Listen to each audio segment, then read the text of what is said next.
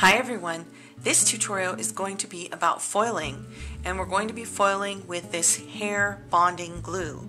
And this hair bonding glue can be bought up at Sally's Beauty Supply for maybe I don't know between two and four dollars for this one ounce bottle. And we're going to be doing foiling like you see right over here now you want to use some brushes that are very thin. The thinner the better and make sure it's not one of your good brushes because after all this is glue and I mean it does come out but still. And you'll also want to have a tile or a piece of paper that you can put your glue on.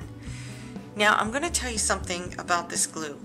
Uh, this glue is pretty good for foiling because when you put it out on your tile or your piece of paper, it will be gray. And when you're drawing with it, it will be gray. And then when it dries completely, it turns black. So that is a good indicator that it is ready to foil. When you're doing your nail, you want to make sure that if you're putting it over top of polish, or gel polish, regular polish, acrylic, whatever.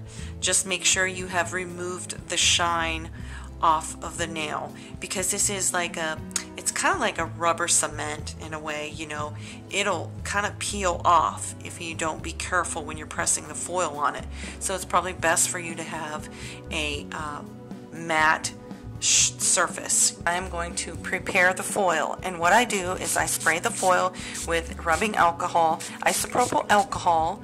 I take a wipe and I wipe the foil.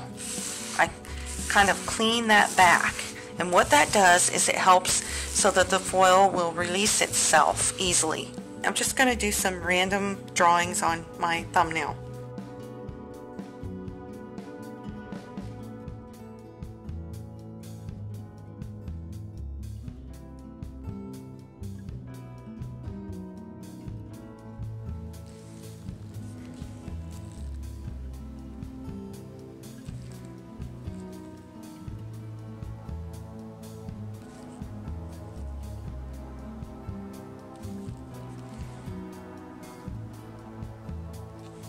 Now every so often you may want to wipe your brush off because it gets a little bit clumpy and that's because the glue is starting to dry. So just keep a wipe, dry wipe and just pull the glue off.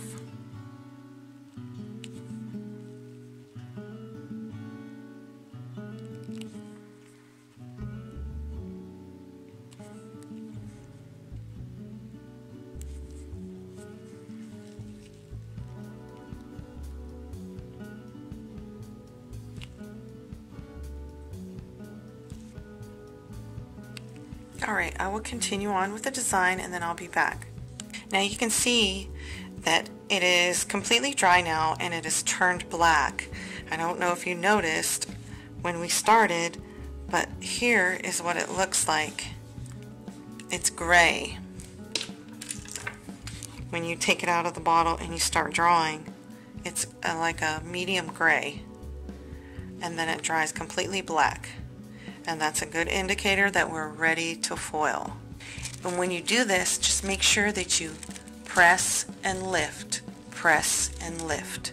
Do not put it on there and rub it around because this is like a rubber cement type glue and it will peel right off.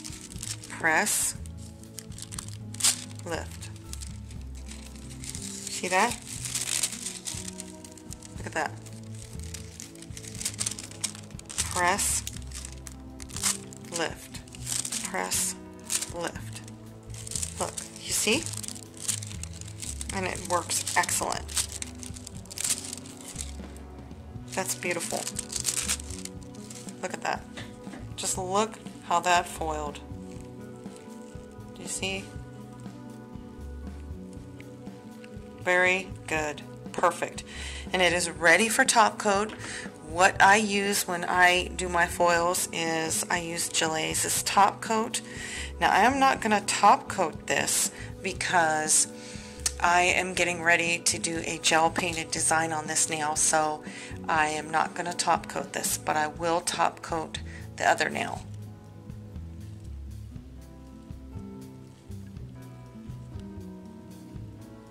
And just cure that in the lamp for two minutes. If you use this with regular nail polish, I think for me, I've only found that Seche Vite top coat is the one that works the best for me. And here is the finished result. The purple nail has been top coated with Gelaze's top coat. And there is my thumb. It is not top coated, but it is foiled.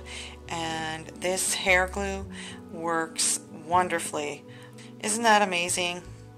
Well, I hope this helps you and gives you some ideas to start doing some foiling. So thanks again for watching everyone.